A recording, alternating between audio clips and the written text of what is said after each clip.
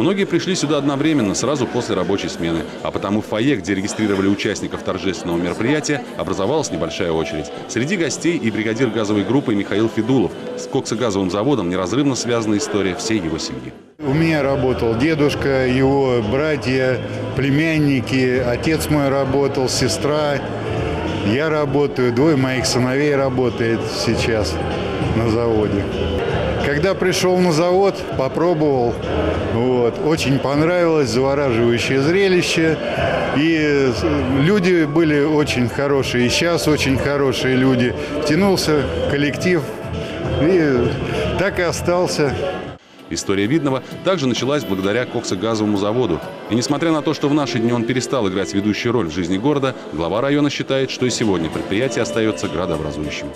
На протяжении вот уже там 53 лет да, предприятие трудится. И э, про- пройдя сложные этапы, которые ну, в первую очередь были ставили под угрозу существование самого предприятия, собственники э, в первую очередь сохранили рабочие места. В первую очередь оставили льготы для тех ветеранов, которые работали и отдали долгие-долгие годы жизни, э, работая на предприятии. Поэтому для нас, для видновчан, это, ну, как он был градообразующим, так он и остался. В ходе праздника десятки рабочих и сотрудников вспомогательных служб получили награды, которые стали знаком признания их работы. А для ветеранов День металлурга – еще одна возможность увидеться со старыми друзьями. Я на заводе работал с 68 года, сразу после демобилизации из Петровского, я попал на завод. Проработал я на заводе э, до 2015 года. Я увидел много э, старых друзей, не просто старых, а некоторых молодых, можно сказать, но старых друзей, с кем я работал когда Где-то уже 71 год, а я увидел тем, кому 40, там, 50 лет.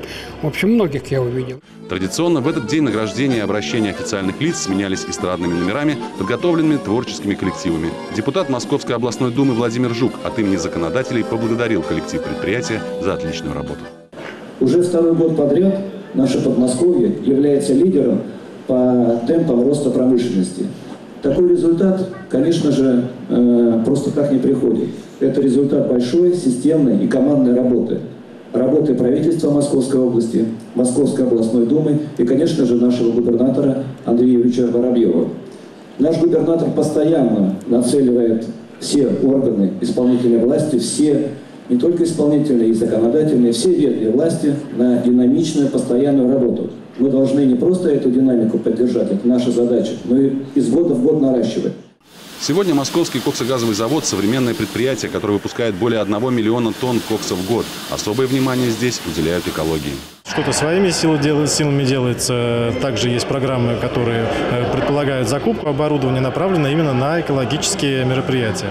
То есть на снижение там, выбросов и так далее. Внутри очень жесткий контроль сторонний э, также присутствует. То есть и э, со стороны города, администрации мы отправляем туда информацию да, о проделанной работе. День металлурга отмечается с 1957 года в третье воскресенье июля. Максим Козлов, Владимир Бежонов, Сергей Ларин. Видное ТВ.